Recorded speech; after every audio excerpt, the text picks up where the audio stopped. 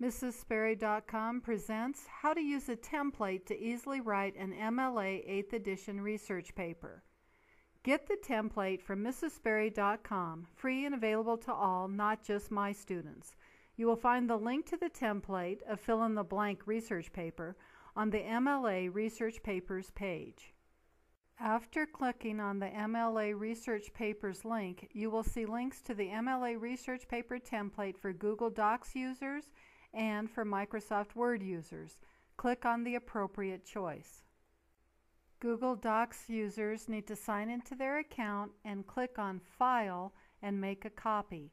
Then they should name their copy something like Sam's copy of MLA 8th edition.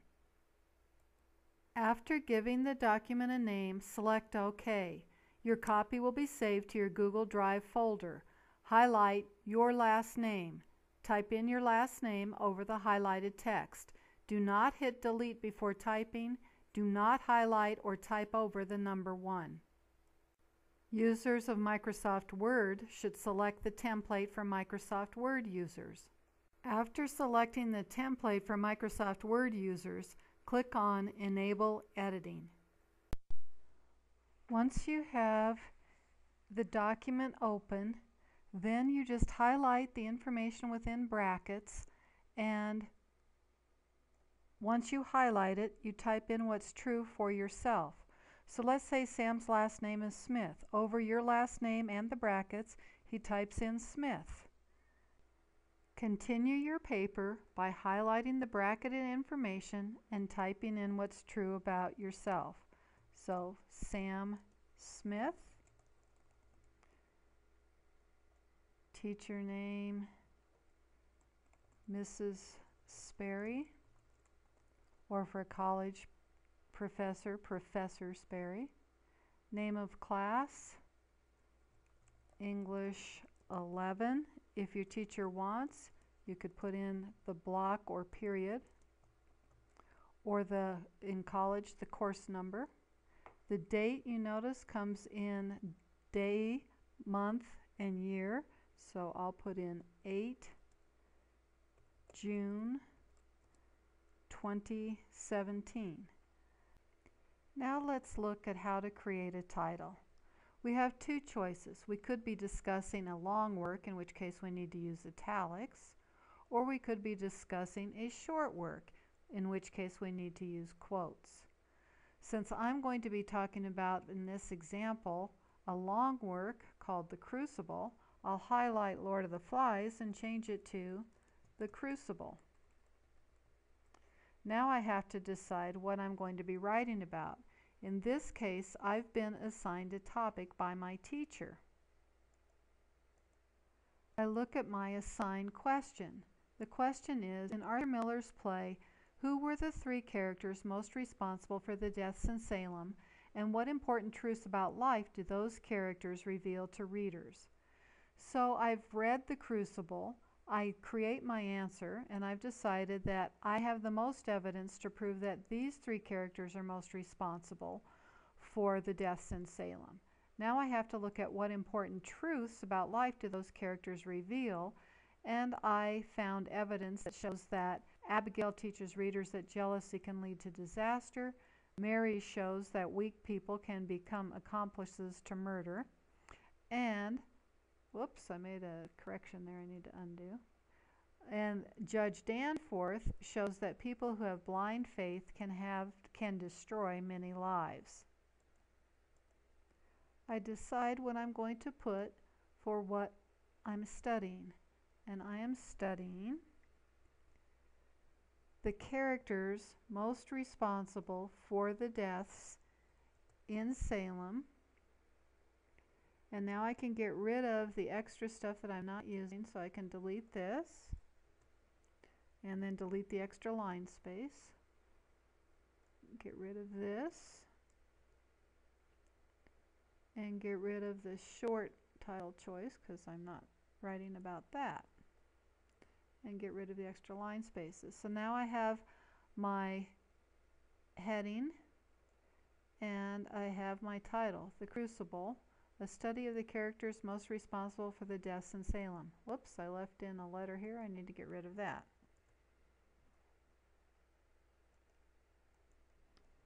Next, I see the information that says this template is designed to help you quickly organize and format research papers according to the requirements stated in the MLA Handbook 8th edition. And I see that it's giving me instructions, so I'm going to read that when I finish reading the instructions, I'm then going to delete them.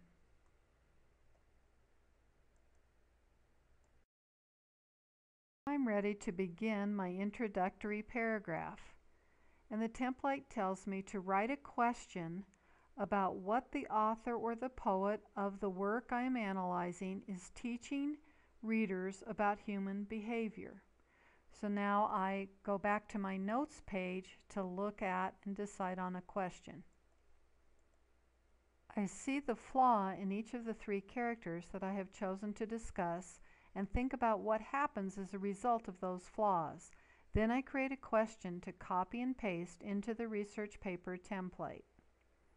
My question about life is, can jealousy, a weak personality, and blind faith lead to tragedy? I highlight the information in the template that I want to replace with my own question, and then I paste in my question. And I'm left with, can jealousy, a weak personality, and blind faith lead to tragedy? Then I put in a space, and I see that next I should answer the question in a very general way by writing the first and last name of the author who wrote the literary work, plus an apostrophe, then the name of the literary work that I'm analyzing. For example, William Golding's Lord of the Flies provides answer to this question.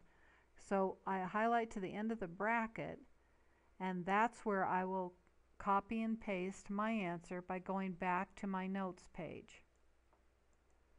By going to my notes page, I found out who, my, who wrote my play, Arthur Miller, and I created, by following the template, his the author's name. I'll paste that in there. The author's name with an apostrophe, then the S, and then the crucible is the name of the work. Now I just need to put a space here, and I have the first two sentences, oops, space, and I have the first two sentences of my research paper. Can jealousy, a weak personality, and blind faith lead to tragedy? Arthur Miller's The Crucible provides answers to this question. I continue to follow the instructions in the template. I look at my notes, find the theme of the work I am analyzing, and paste it in. I keep the words by analyzing, which are not in brackets, and then I paste in the information about my own work to replace the information in the brackets. Now I get, by analyzing the crucible's characterizations, and I get a sentence then that will be the last sentence of my first paragraph, and I check the information here to make sure that my last sentence is a good thesis statement. The last sentence of your introductory paragraph is your thesis statement. It controls every word you write in the paper and provides the order in which you will make your points. I said that I would be discussing the characterization of Abigail Williams first, then Mary Warren, and then Judge Danforth. So now I can delete this bracket information I've checked my thesis statement and it meets the requirements. Then I see that after I read the bolded examples of the samples, the bolded examples of two other introductory paragraphs, I can delete them. So they're just another check to make sure you understand the directions for how to create an introductory paragraph. So I'm going to highlight the bolded examples, and you can pause the video to read them if you want. I'm going to highlight them and delete them. After deleting any extra line spaces or anything else that showed up in my copy and paste, I now see that I am ready to begin the first body paragraph. So I wrote that I was going to first write about Abigail Williams, and so I see that this first body paragraph must be about Abigail Williams, the first item that I said I would discuss. Then I am to begin my paragraph with a transition word and a reminder of the work's theme by completing the sentence after the bracket. So I've read that information, I can delete that information, and I see that my first uh, word in my first body paragraph is going to be the word first. So I'm keeping all of these words which are not in brackets. So I'm going to say first when analyzing an literary work it is important to look at. Now the directions say to put in my first point. For example, genre. Well, my first point is about characterization. So I'm going to highlight the bracketed information and type in characterization. Next, I need to write how the first element I am discussing helps the author develop his or her theme. I copy and paste in Abigail is an important character who demonstrates the fact that jealousy is a human weakness that can motivate a person to hurt others. Now I put in evidence from the Crucible and other sources. Notice that when evidence is given from an author of a print book, the page number follows the author's last name. If the source is a web page, no page number is given. If the author's names are given in the sentence, they do not have to be restated in parentheses. After evidence from several sources is given to support the point that Abigail Williams is a jealous character responsible for the deaths in Salem, a concluding sentence is written. Clearly, Abigail Williams is a character responsible for the deaths in the Crucible, and her actions develop the theme that a human weakness like jealousy can destroy others. It is important to note that a concluding sentence of a paragraph is a mirror to the first sentence of the paragraph, or the first couple of sentences of the paragraph.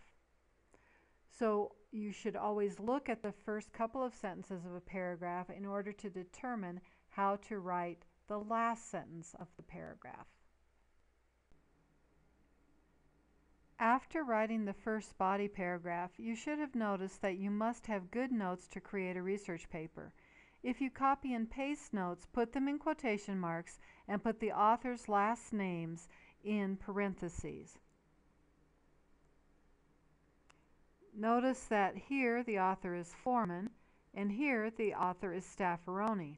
Also notice that when you copy and paste you may end up with font types and sizes that do not match what you're going to put into your paper. Also note that you won't use every quote. Sometimes you'll change the quote into just a regular sentence where you've put the information, in your own words, and you still give credit to the author for the idea, but you can remove the quotes then because the words are your words for the author's ideas. When I copied and pasted my notes, I also copied and pasted publication information needed for the last page of the paper, the Works Cited page. Here you see authors' last names in parentheses for two notes that I took. Let's look at the highlighted example from two writers at CliffsNotes. The CliffsNotes web page, How to Cite the Literature Note for the Crucible, gives us the, this example. So I highlighted it and copied and pasted it into my notes. But it was then that I noticed that it didn't look right. It didn't look like the example in Mrs. Sperry's template. If you look at the highlighted examples, with the top one being the one that CliffsNotes suggested and the bottom one being the one that Mrs. Sperry's template suggested, you will see that they are very different. The Modern Language Association says that angle brackets are not used any longer. So clearly the CliffsNotes um, suggestion is based on an older edition of the MLA handbook than the 8th edition. That's why you need to be very careful. Mrs. Sperry's template is updated with MLA 8th edition information. The information at the Purdue Online Writing Lab website is also updated, and you can find a link to it in the template. Let's get back to the template. More information is given about what is what in addition to authors' last names can go in parentheses for unusual sources, and sample first body paragraphs are given. After reading the information, you can delete it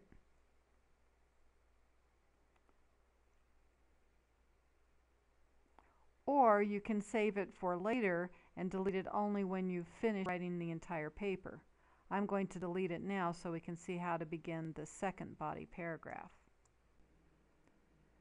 To complete my second body paragraph, I read the instructions and the example second body paragraph in the template and substitute information about the work I am analyzing.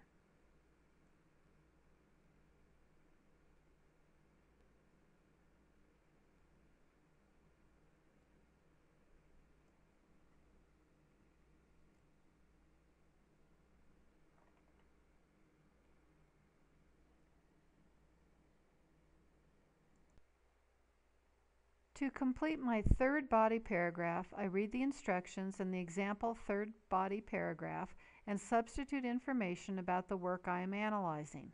Please notice that the example of a third body paragraph shows how to format a long quote. Also be aware that to shorten this video, I am pasting in whole paragraphs instead of typing in or pasting one sentence or part of one sentence at a time, as you will need to do.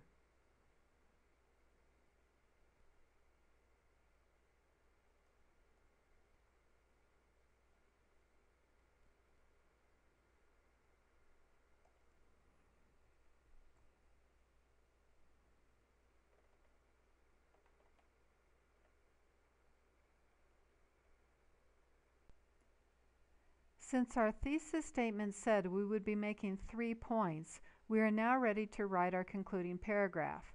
If our assignment and our thesis statement said we would be discussing more points, we would put in additional body paragraphs. Please note that some teachers like students to begin their concluding paragraph by signaling that the paper is nearing the end, while other teachers do not.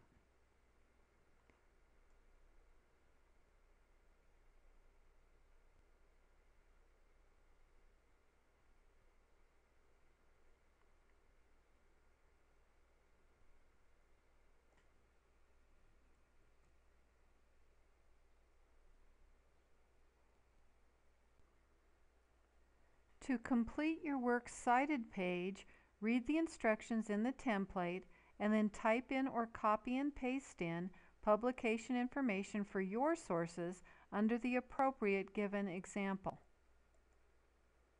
In my notes, I find an example written by SparkNotes editors. And I find a similar example in the template. So I'm going to hit enter here and copy and paste what I wrote, whoops, to see if it matches.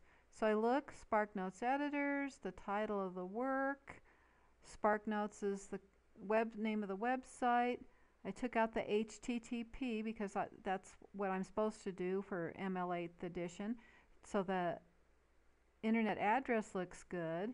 Uh-oh, since there's no date, given by the website, I have to put the date I accessed it. So I have to put in after my source accessed and put today's date 2017. Now it turned it blue and I don't want it to so I just click on that and then I click on remove so it will be black.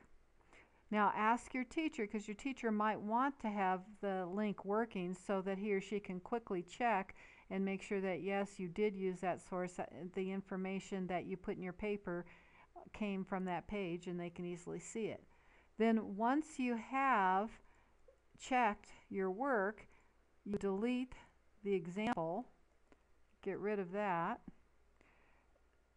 and then you continue to put in other your other sources that you used, making sure that your final works cited list is in alphabetical order according to the author's last name. And you check to make sure you have used the number of sources that your teacher asked you to use. If you have been following along and writing your own paper, congratulations! You have completed an MLA 8th edition research paper.